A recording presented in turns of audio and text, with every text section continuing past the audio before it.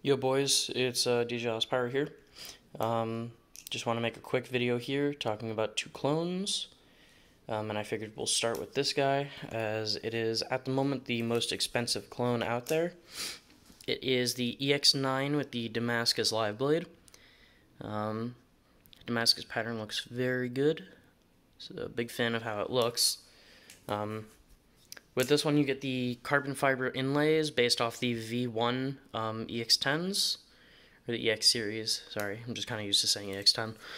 Um, but these are the V1 style carbon inlays. Um, the newer ones just kind of slant down instead of having this swoop, I guess. So like instead of going down like that, they would just kind of cut off like that. So yeah, um, they feel really good. Um, the texturing is on the carbon fiber as well.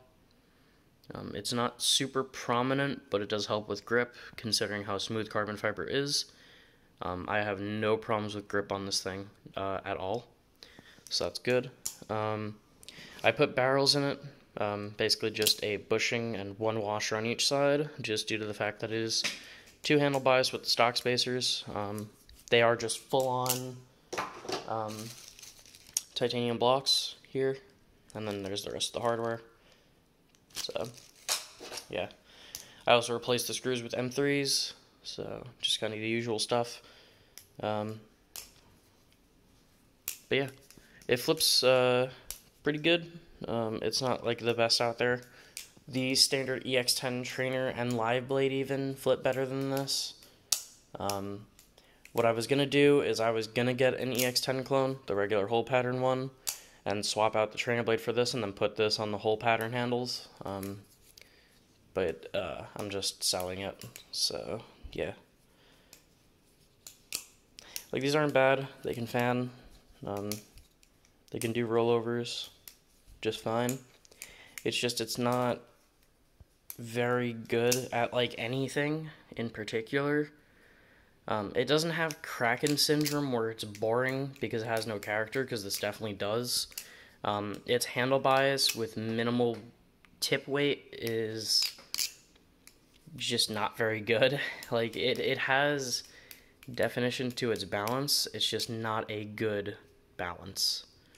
Um, the problem with blade shapes that aren't like Tantos or um, even things like Bowies, Kukris, uh, anything like that, um, they will have weight towards the tip, which allows you to have good fanning. That's like the whole idea of weight distribution um, for balis. And then, of course, you want all your weight towards the end, so you put like block spacers, or if it's channel, you leave most of the material towards the end. That's the whole point of it. Because um, if you put the weight towards the middle, you can't use it. There's nothing you can do, and if anything, it just fucks with your balance. Uh, you can't really do a whole lot. So knives that have like this leaf-shaped blade, um, same as like the Kimuras. Kimuras have the leaf shape. Um, that's why Weehawks are usually pretty bad. Um, Bowies aren't that good either unless you have minimal rear weight. Um, just you know things like that. It's it has a lot to do with weight distribution. That's exactly why I don't like the uh, Falcon Live Blade. Um, but yeah, so just wanted to go over why it's not that good because I already know I'm going to get comments on why I don't like it. Um, so yeah, if uh, you comment that, I'm literally just to leave a timestamp to this part, because obviously you didn't fucking watch. But yeah. So it's not bad, it's just not worth the money. Um, if you want it as an art piece, it's pretty good for that, because this is a very nice looking knife. Um, the only quality control issues that I've had with this thing is I didn't get very good bushings with it, and the carbon fiber isn't actually fully in. Like if you see on this one back here, it's not flush with the handle, um, even on the outside. And then the other handle is like perfectly flush. So just little inconsistencies. Same on the other handles. Like this one's pretty good. This one's pretty good. But this one and this one are pretty uh, not good. So yeah.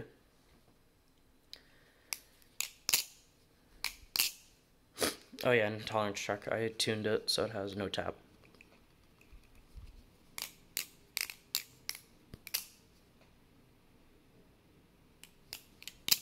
Uh, sound test on this guy, it doesn't really have any great sound.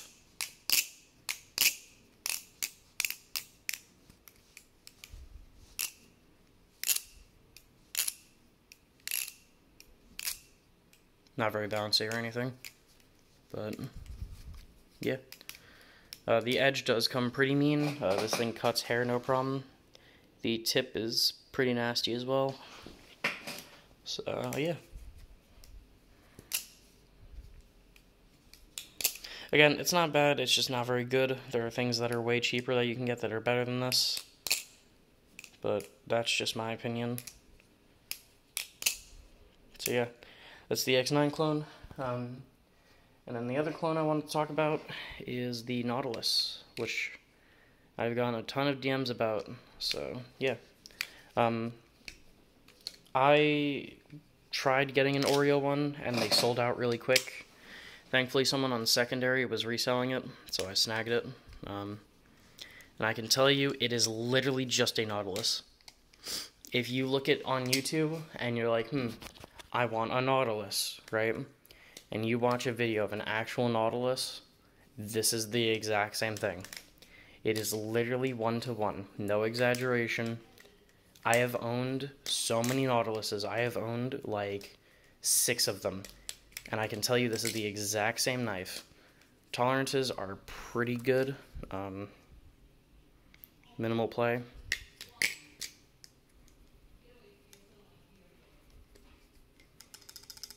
Oh, coming loose. Normally it does have no tap, but looks like I gotta tighten it. Um, the Oreo has the black blade and the black handles, obviously. They are very clean. Um, fit and finish on this guy is fantastic. Um, just a quick side note, BaliPlus is definitely stepping up their game recently. Um, pretty much every BaliPlus product recently has been extremely fucking good. Um, pretty much everything after the, the 4X T latches, so like the 47, the 43, the 42, and the 42S. Everything after those has been really good. So like they revised the replicant, that's really good. They redid the squid trainer, which I have on the way because I feel like that's going to be really good because I had one of the old ones and they sucked. And I think the new one's going to be really good. So I got that on the way.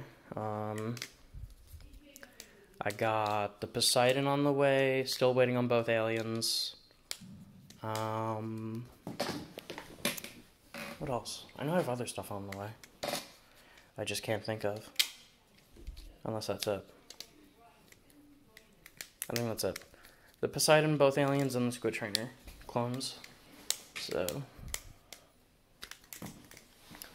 But yeah. If you've ever wanted a Nautilus, but you don't want to spend the price tag, get one of these. It's the same knife. The balance is the same, the feel is the same, the sound isn't as good for some reason.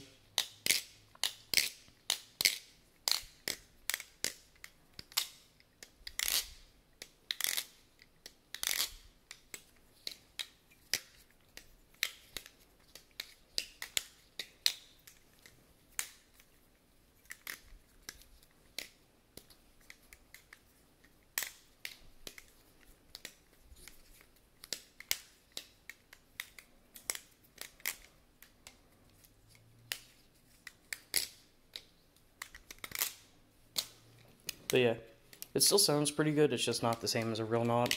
So, yeah. Again, if you want a Nautilus, just get this. I'm telling you, I've owned so many of them. It is the same knife. It has that slight rear bias to it, where it drags on fan a little bit. Still very light, pretty blocky. Um, I would say that's the only real difference is it's a, a little more blocky. It's not as rounded on the G10. But like, if you really care that much, you can round it yourself. Um, oh, and the G10 is textured. Um, you can see it there. It's got some texturing on the G10, and that's the only differences. The only differences is the roundness, the texturing, um, the BaliPlus logo, and that the screws are T8. And that's it. Flips the exact same. Bushings are pretty good. Sound a little different. flips the same. So yeah, that's about it. Um, if you have any stupid fucking questions, leave them down. I'll probably answer it. So, yeah, that's about it. See ya.